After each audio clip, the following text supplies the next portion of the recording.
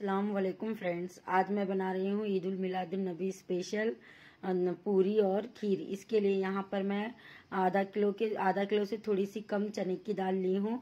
उसको दो दो पानी से धो के ली हूँ और थोड़ा सा इसमें मीठा तेल डाल के मैं इसको कुकर लगा के गला के लूँगी। आप लोग इसे खोपरे से भी बना सकते हैं पूरियाँ, लेकिन मैं यहाँ चने की दाल और गुड़ के पूरी बना रही हूँ तो इसके लिए यहाँ पर मैं कुकर लगा के अच्छी तरीके से दाल को गला के लूँगी। कम से कम मैं आठ, दस सीटियाँ लूँगी और ये देखिए हमारी दाल अच्छी तरीके से गल चुकी है। और मैं यहाँ पर पाव किलो से थोड़ा सा ज़्यादा गुड़ ली हूँ। गुड़ को भी मैं इसके अंदर अच्छा मिक्स करूँगी। और हमें गुड़ और चने की दाल को अच्छी तरीके से पकाना है। मिक्स करके ये हम चने की दाल अच्छा पकाएँगे तो हमारा गुड़ अच्छी तरीके से पिघल जाएगा। ये देखिए हमारा गुड़ पिघल रहा है और अच्छी तरीके से पक रहा है। हमें ऐसे अच्छे से पकाना है और यहाँ पर मैं सौंफ और इलायची को मिक्सर में पीस के लिए हूँ इसका भी फ्लेवर बहुत अच्छा आता है। सौंफ डालने से चने की दाल है, हमारा हाजमा भी अच्छा होता है।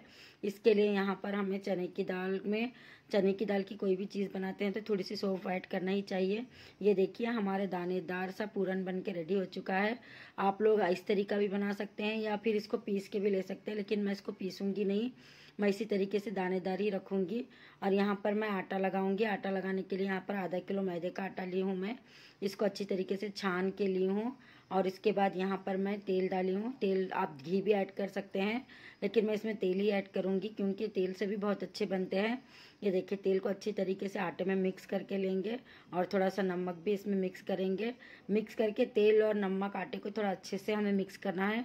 इस तरीके से थोड़ा सा हमारा आटा मुट्ठी बंधे तब तक हमें ज़रा मिक्स करना है। फिर उसके बाद हमें पा, पानी डाल के आटे को अच्छे से लगाना है। या ज़्यादा सॉफ्ट भी नहीं ज़्यादा घट भी नहीं हमें इस तरीके का आटा हमें लगाना है। देखिए हमारा आटा परफेक्ट बन के परफेक्ट गुन के रेडी हो चुका है। इसी तरीके का आटा हमें लगाना चाहिए। और इसके बाद यहाँ पर मैं पेड़े काट के ले रही हूँ पूर, पूरियों के लिए। आप लोगों के हिसाब से आप पेड़े काटिए आप जब बड़े बनाना चाहते हैं तो थोड़ा ज़रा मोटे लीजिए और अगर छोटे बनाना चाहते हैं तो थोड़े छोटे पेड़े काट के लीजिए। और मैं मीडियम पूरियाँ बना रही हूँ तो इसके लिए इसके इस तरीके के मैं पेड़े काट के लिए हूँ और इसको मैं बेल के लूँगी। हमें पूरी को बेलना है दो पूरियों को बेल के हम पूरी बनाएँगे। ये देखिए, पहले मैं एक पूरी बेलूँ स्टार्टिंग के पूरियों में ज़रा थोड़ा सा आटा लगा के बेलेंगे हम, ताकि हमारे पूरियाँ पूरी चिपके ना। ज़रा स्टार्टिंग में हमारे एक दो पूरी इसी तरीके से चिपकेंगे। इसके लिए ज़रा थोड़ा सा आटा लगा के हमें बेलना है। ये देखिए, गोल गोल करके हमें पूरियों को बेल के लेना है। और अब यहाँ पर मैं और एक पूरी बेलूँगी। दो पूरी बेल के हमें पूरी बनाना है। इस तरीके से ये देखिए, पूरी के अंदर हमें ये पूरन अच्छी तरीके से भरना है। पूरन हम जितना अच्छा भरेंगे, पूरी खाने के लिए उतनी ही अच्छी लगेगी। इसके लिए यहाँ पर मैं इस पूरन अच्छी तरीके से भर रही हूँ। भर के थोड़ा सा हाथ से प्रेस करेंगे ताकि हम तेल में डालने के बाद हमारी पूरी फटे नहीं इसके लिए। और थोड़ा सा पानी लगा के मैं इसको और एक पूरी इसके ऊपर रख के मैं इसको थोड़ा सा हाथ से इसका डिज़ाइन बना के लूँगी। आप लोग वो चोबे चरखे से भी बना सकते हैं, मेरे पास चरखा नहीं है। इसी के लिए, इसलिए मैं यहाँ पर हाथ से बना रही हूँ। ये देखिए हाथ से हमें थोड़ा थोड़ा हाथ से इस तरीके से डिज़ाइन बनाना है। मैं इस तरीके के बारह पूरियाँ बनाऊँगी। थोड़े से मैं कनोले भी बनाऊँगी, ये देखिए। यहाँ पर मैं इस तरीके से पूरी को डिज़ाइन बना के ये करूँगी। हमें अच्छी तरीके से पूरी को पैक करना है ताकि हमारी पूरी दाल, तेल में डालने के बाद फूटे ना। इसके लिए हमें अच्छी तरीके से सब्र से पूरी को पैक करके लेना है। यह हमारा दाल का पूरन रहता है ना तो वज़न से तेल में जाने के बाद हमारी पूरी फटने का डर रहता है। इसके लिए आप लोग भी इसको अच्छी तरीके से बनाइए। बहुत सारे लोग खोपरे के भी बनाते हैं, लेकिन हम लोग इसके बनाते हैं तो मैं इसके बनाई हूँ दाल के। आप लोग भी इसको इसी तरीके से बनाइए। मैं और एक अभी आपको, और अब मैं कनोला बना के बताती हूँ। हम लोग इसे कनोला कहते हैं। आप लोग क्या कहते हैं मुझे नहीं मालूम।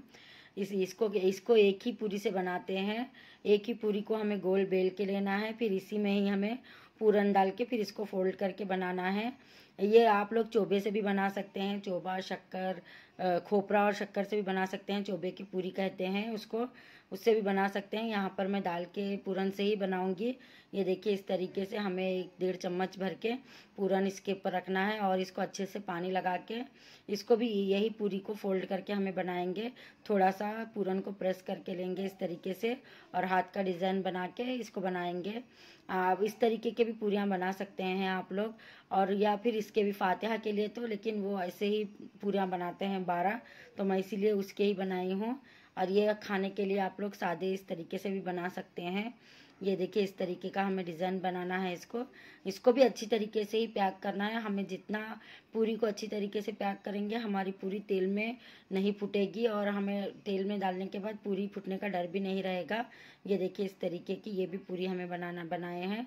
और तेल को भी हमें ज़्यादा गर्म नहीं करना है। बस मीडियम तेल हमारा गर्म हो चुका है तो हमें आहिस्ता से पूरी को इसके अंदर ऐड करना है। ये देखिए, इस तरीके से एक एक पूरी ही करके हमें तलेंगे, क्योंकि ये दाल की पूरी फटने का बहुत डर रहता है। इसके लिए मैं एक एक पूरी ही करके तलूँगी, अच्छे से एक तरफ़ का हमारा सीख जाए, एक तरफ़ की हमारी अच्छे से तले, फिर हम पलटा के इसको तल के लेंगे। इसी तरीके से हम सारी के सारी पूरियों को तल के लेंगे। इस तरीके से तलने से हमारा तेल भी नहीं ख़राब होगा और हमारी पूरियाँ भी नहीं फटेगी एक एक करके। बड़े थोड़ा टाइम लगता है, लेकिन पूरियाँ अच्छी तले जाते हैं और बहुत अच्छे एकदम से क्रिस्पी तलना चाहिए हमें इसको। आँच को थोड़ा सा पहले तेल गर्म होने के बाद फिर हमें आँच को थोड़ा सा मीडियम करेंगे, करके हमें इसको फ्राई करके लेंगे। ये देखिए, हमारी एकदम से लाल और क्रिस्पी पूरी फ्राई होकर रेडी हो चुकी है। इसी तरीके से मैं सारे के सारे यहाँ पूरियाँ भी तल के लूँगी फूले फूले से। अगर हम आटा अच्छी तरीके से लगाएँगे और पूरियों को अच्छी तरीके से फोल्ड करके बनाएँगे तो ये पूरी बहुत ही परफेक्ट बनती है। और यहाँ पर मैं कनोला भी फ्राई करके ले रही हूँ। इसको भी मैं एक ही तल, एक ही फ्राई कर रही हूँ। अगर आप लोग दो तीन डाल के भी इसको फ्राई कर सकते हैं, लेकिन पूरी को आप एक ही तेल, एक ही पूरी को इसके तेल के अंदर डाल के फ्राई कीजिए, क्योंकि पूरियाँ डर गए, टूटने का डर रहता है। ये देखिए, यहाँ पर ये भी मैंने इसको भी अच्छी तरीके से फ्राई करके लिया है। और यहाँ पर हमारे पूरे के पूरे पूरियाँ बन के रेडी हो चुके हैं, पूरे के पूरे फ्राई हो चुके हैं। इसी तरीके से हमें सारे के सारे पूरियों को फ्राई करना है। और यहाँ पर मैंने खीर के लिए भगोना चढ़ा लिया है। इसके अंदर मैं डेढ़ चम्मच भर के घी ऐड करी हूँ। उसके बाद थोड़ा सा खोपरा फ्राई करूँगी। खोपरे को हम दाग नहीं लगाएँगे, लाल नहीं करना है। थोड़ा सा सुनहरी होने तक फ्राई करना है। फिर उसके बाद यहाँ पर मैं एक लीटर दूध ली हूँ। एक लीटर दूध की मैं खीर बनाऊँगी। दूध को भी अच्छी तरीके से हम पैकेट में से हमें भगोने में निकाल के दूध को अच्छा गर्म होने देना है। ये देखिए, एक लीटर दूध हमारा, मैं भगोने में निकाल चुकी हूँ और इसको अच्छे से हमें गर्म होने देंगे। हमारा दूध अच्छे से पकना चाहिए, तब भी हमें सारी चीज़ों को ऐड करना है। ये दूध को मैं अच्छे से पकाऊँगी, कम से कम दूध को मैं दस मिनट तक, दस पंद्रह मिनट तक ऐसे ही पकाऊँगी, आँच पे, फुल आँच पे। तो उसके बाद यहाँ पर मैं यहाँ पर मैं रात में ड्राई फ्रूट ली थी, काजू बादाम को। भिगा के, छिलके निकाल के लिया है बादाम के और यहाँ पर चावल ली हूँ। चावल मैं सादे चावल ही ली हूँ। इसको भी मैं रात में भिगाई थी। आप लोग एक दो घंटे के लिए भी भिगा सकते हैं, लेकिन मैं रात में ही भिगा के ली थी। अब इसको मैं पीस के लूँगी। ये देखिए हमारे चावल को। मैं एक चावल, एक छोटी कटोरी भर के चावल ली हूँ। और हमारे दस पंद्रह काजू, दस पंद्रह बादाम है, मैं इसको भी पीस के लूँगी। दूध डाल के पीसेंगे हमें काजू बादाम को, और यहाँ पर देखिए, हमारा ये दूध भी अच्छी तरीके से गर्म हो रहा है। हमें इतना गर्म करना है कि हमारी मलाई ऊपर आए, तब तक हमें दूध को पका के लेना है। और हमारा दूध अच्छी तरीके से पकना चाहिए। और इसको अच्छा पकने तक हमें आराम आराम से पका के लेंगे। हमारा, देखिए, इस तरीके से पकना चाहिए। और जब तक इस दूध अच्छा पकने के बाद ही हमें ये काजू बादाम का पेस्ट इसके अंदर ऐड करेंगे। इसको भी अच्छी तरीके से पकाएँगे। हम सारे चीज़ों को घीर के अंदर अच्छी तरीके से मिक्स करके अच्छे से पका के लेना चाहिए हमें, ताकि हमारे, जब चावल भी अच्छे से पकाना है हमें, चावल भी हमारी गुटलियाँ ना बन दे इसके लिए हम चावल को भी अच्छे से पकाएँगे। चावल की क्लिप मुझसे ऐड नहीं हो गई है, लेकिन मैंने इसमें काजू बादाम के पेट से पहले चावल को ऐड करा था और उसको भी अच्छी तरीके से पका के लिया है। हमें चावल को भी डालने के बाद भी हमें कम से कम पंद्रह मिनट तक चावल और दूध, काजू बादाम के पेस्ट को अच्छे से पका के लेना है। ये देखिए, हमारी चावल और दूध की खीर बन के पूरी अच्छी तरीके से रेडी हो चुकी है। अब मैं इसमें, अब मैं इसको सर्व करने के लिए कटोरे में निकालूँगी। ये देखिए, हमारी खीर पूरी पूरी अच्छी तरीके से रेडी हो चुकी है और इसके ऊपर हम थोड़ा सा ड्राई फ्रूट ऐड करेंगे।